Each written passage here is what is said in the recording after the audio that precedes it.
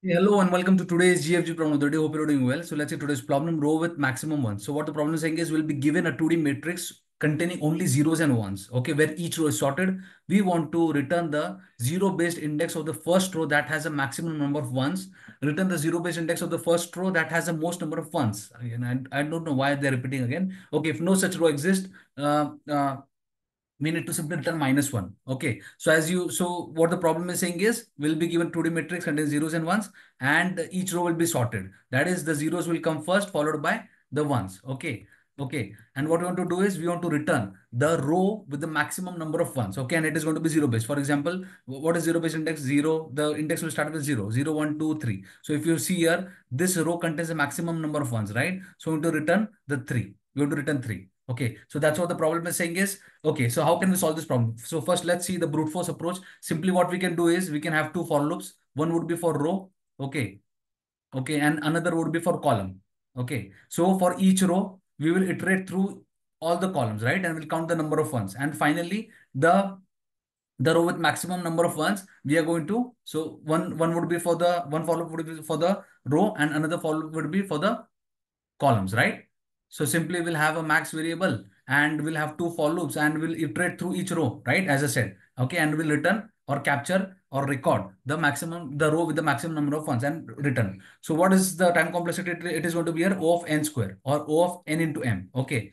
So let's see if we can optimize this further, right? So what we can do is, what we will do basically is we will uh, take advantage of the row being sorted. Okay. So what we'll do, we'll start with the first row. Okay. And we'll start with the last column. Okay. And we'll have a max row variable as well to record the, the row with maximum uh, ones. Okay. So we'll start with, so we'll start here. Okay. So we will, okay, as, as this is zero based index, right? Let's write the in, indices as well, 0, 1, 2, 3, right? So here we found R1 here first, right? So what we'll do, we will record the, the row with the maximum ones. It is zero currently, right? We'll just record. Okay. Then what we'll do, we'll move ahead, right? We'll move like, we'll decrement uh, the column pointer. Okay. So here we found again this, right? We found, we found again uh yeah the the one so yes the max row again it is it is uh, uh, it is zero only the same right now we'll decrement our column pointer again but here we found zero so what we'll do for this particular row we'll stop here and we'll go down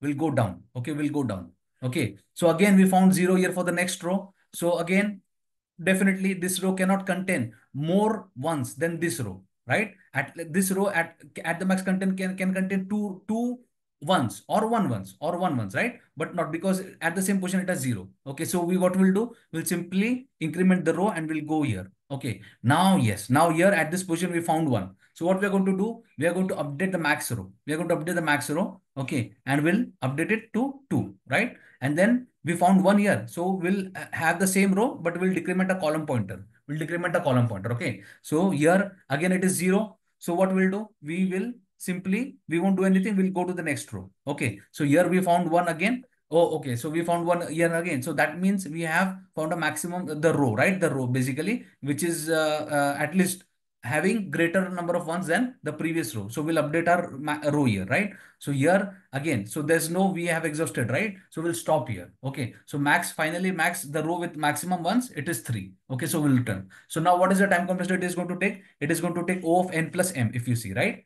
O of n plus m. So we are not iterating for each row. We are not iterating all the column elements, right? All the column elements. We are going in this way, as, I, as in this fashion, whatever I mentioned. So this is the intuition behind solving the problem. Let's quickly go and code. Before going to the code, I'll request you to subscribe to my channel. Thank you so much. Let's quickly see the Java code first, followed by C++. Also would request you to subscribe to my channel because a lot of effort goes in uh, making such videos. Okay. So what we'll do, first of all, we'll take a, okay, first of all, let's have lengths, right? n equal to r dot length, which will give us the row length. Then we have our column length r dot r of zero, right? We want a column length. So this will give a column length. Okay, now we'll have, we'll start, as I said, we'll start with the last column, right? And first row. This last column we'll start with, right? In j equal to m minus 1, right? And then what we'll do? We'll have our uh, one for loop, right? i equal to 0, i less than n, right? For the row, for the row. This for loop is going to be for the row. Okay. Now, and also we'll, uh, we'll have what? int max row equal to, let's initialize with minus 1 in case we don't find uh, 1 in the matrix, right? So we have to return minus 1 as they've already said, return minus 1, right? So let's, yeah. So now what we're going to do, we'll start with the last column for the current row. Okay. So what we'll go till what? Till until as we are starting from the last column, right? So we'll go till the max till first uh, uh, zeroth column, right? So j greater than equal to zero and and this this needs to be r of ij needs to be one, right? R of ij needs to be one. So what we are going to do here, if we found one, we are going to capture max row, right? Equal to i. That is okay. Uh, max row that is equal to i. Okay. And what we are going to do, we are going to decrement j, right? We are going to decrement j. So this is it, max row.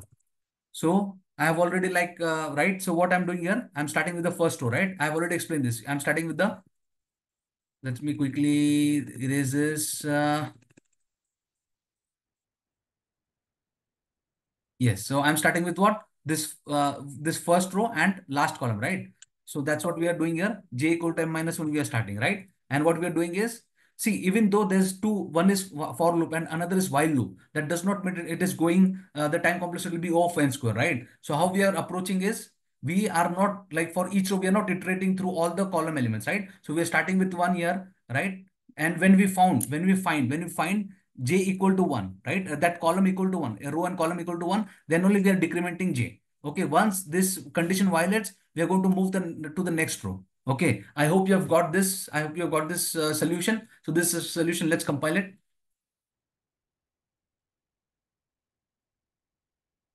Okay, let's submit.